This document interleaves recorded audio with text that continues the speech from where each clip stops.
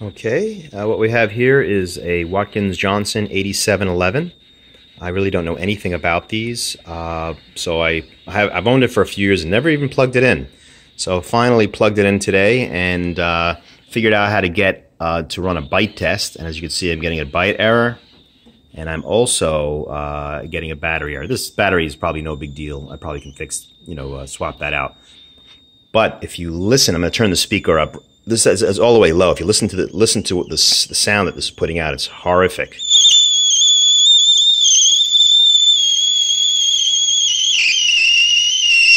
Yeah, that's pretty bad. And it doesn't matter what my what the input is.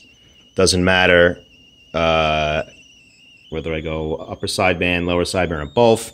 One small interesting thing uh, is. Um, if I go, I change the detection mode. I'm not sure if this is showing up too good, but if I change the detection mode, AM, S, SAM, these all have this terrible sound.